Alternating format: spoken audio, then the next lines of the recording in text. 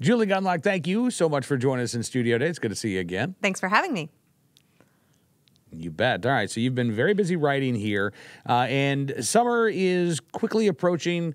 Uh, just a couple of weeks left, depending on where you live in the country, and maybe your kids are out of school. No. Some of you may have to wait a few more weeks, maybe a month or so. But uh, you've got a piece that acculturated on sleepaway camp, which uh, I have to confess right up front, I, I never went to sleepaway camp. I don't know if I was. Does that make me deprived? Does that make me uh, a victim somehow, Julie? Am Yes. I? Uh, can I blame my parents? Can I call my dad uh, right now, live on the air, and just start crying? Can I? Can I do that? Are you are you feeling triggered? to, are you feeling but, triggered uh, right now? No. no, not really. I mean, I had my YMCA day camps, you know, as a kid. Uh, say, I yeah. You know, Uh, I so you know I- I honestly, but, but, uh, I I for for as well adjusted, well as I appear to be for you know the 15 minutes I'm on once a week. Um, I leave here and go crazy. Um, uh, I never went to camp. Not one. I'm not kidding you. I never once went to a camp my entire childhood. My mom said that she just never got around to signing us up. It just she didn't even think about it. Um, so you know, we spent we a lot need, of. we need to start a group. I do feel I, but I you have to I say, right here. We should start some sort of advocacy group.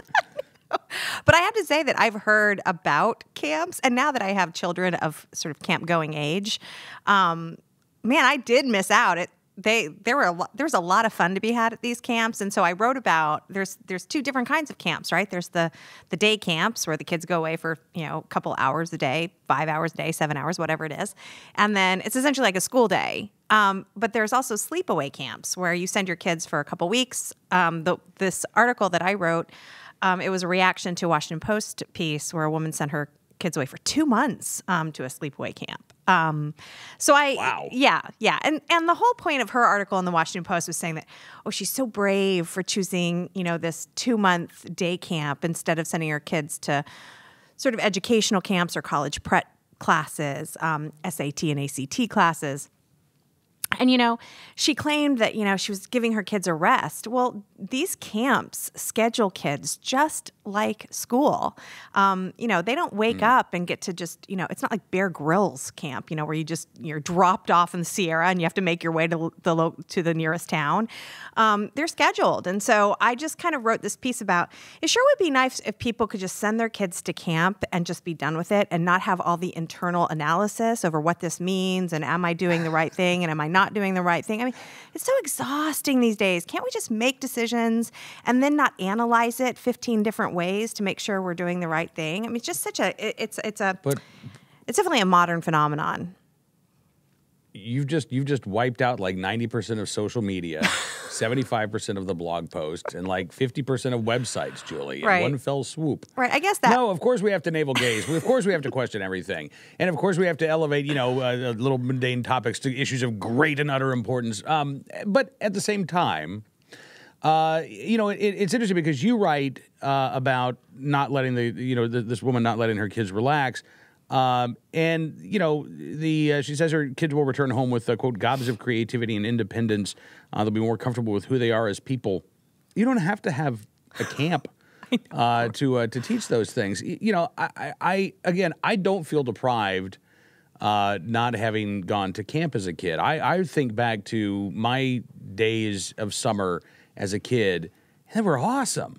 I mean, they were great. Yeah. There was there was nothing scheduled. It was you know wake up at eight o'clock in the morning, get a bowl of cereal, watch whatever reruns were on the uh, uh, UHF channels, and then you know go get my bike, ride up to my friend's house, and hang out for the day outside Yeah. doing stuff. Maybe would you know hook up Doing the Atari. stuff. Uh, come home around you know four o'clock, do my chores before my mom got home, and that was it. That was it. And that was was, the great. day. It was great. Yeah. You know, I actually said in the in the piece, the ending of my piece, I said if this woman really wants to be provocative, because she acts like she's like a super provocative mom by making the tough decision to send her kids away for two months.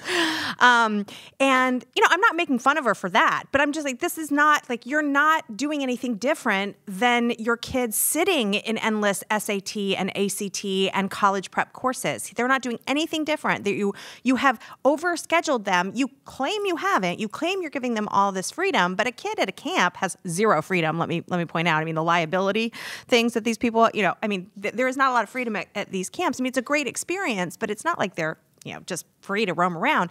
And I said so at the end, you know, if she really wanted to be provocative, she really wanted to be different, she'd let her kids sit on the couch and eat Cheetos and watch reruns and be bored. Boredom, you know, is not is not going to kill your kid. Letting them be bored.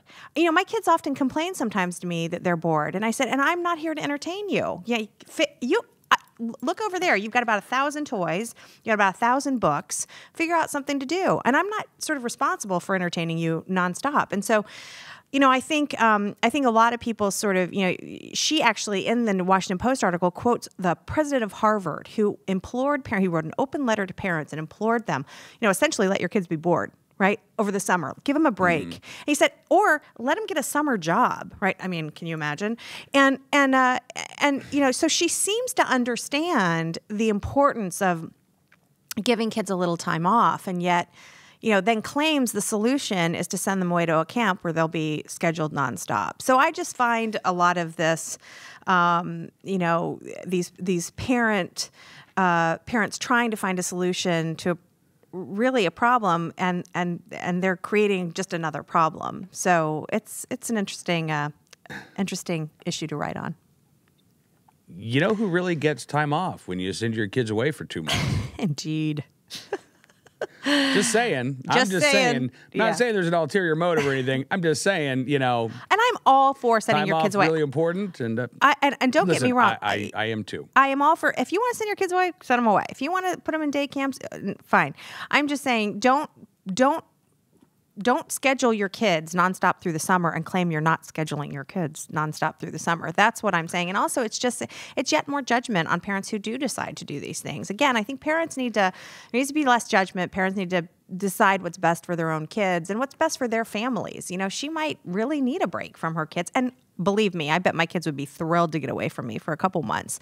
Um, they're a little young, but um, but but I think I think the, the, it can benefit both people. So I'm not I'm not trying to be judgmental of her decisions. I just she's judgmental of everybody else's decisions. Well, I would. Uh, I'll just recommend Camp Cam and Company to uh, any parents out there. Uh, it's very simple. It's a day camp. Just plop your kid in front of the laptop, uh, 2 p.m. Eastern, Monday through Friday, and for three hours, uh, you know, we'll do arts and crafts, so they'll learn about politics and pop culture and things of that nature. You better be it's careful. Camp Cam and Company. People are and gonna, we have T-shirts. People are going to take you up on that. People are going to take you up on that. Will there be a petting zoo? Will there be baby goats involved at some point? These are the other questions. Well, Henry want to know. My uh, Henry uh, doesn't. So, my Henry doesn't want to come. Remember, the chicken bit him, so he's not really interested in coming down to camp. Camp and Company. I think.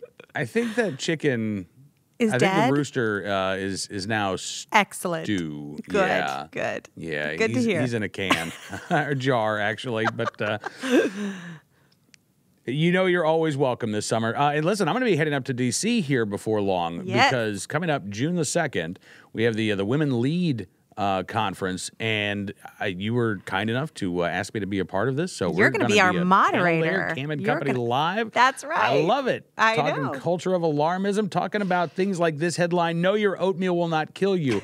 Which, Julie, if you're writing a story that says "No, your oatmeal will not kill you," that means that you're responding to a piece that said your oatmeal will kill you. Do you believe that? Can you believe that? I mean, honest to God, a couple weeks ago there were probably a dozen or more stories saying that um, it, the stories involved a lawsuit that's been filed by a Berkeley, California man, naturally, um, who claims that, that the, these oatmeal companies have mislabeled their product, natural, they use the word natural on the outside of their box, um, because during the processing of the the oats after they come off the field, um, they are sprayed with a with an herbicide, and that is used to ensure that the oats don't mold. Because if the oats mold, then you can be you can suffer i mean if that actually goes into production and someone eats that then you can have food poisoning which is a far bigger uh-huh. danger than a tiny trace amount of this pesticide or herbicide that keeps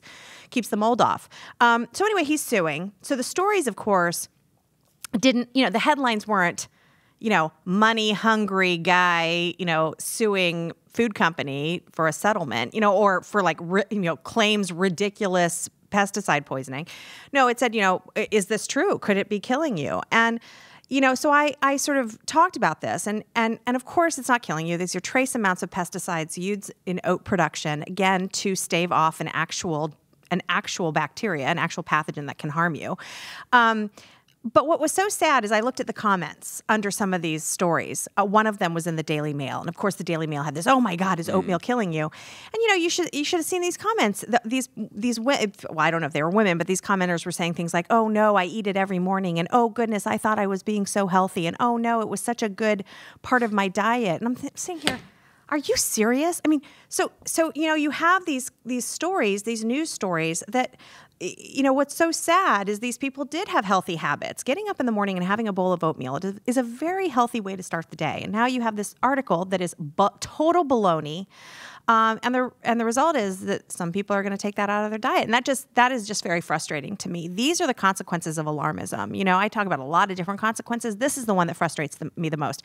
Oats are a cheap they're so cheap, they're so healthy, they're so filling, they're so nutritious. They have so many nutrients in them.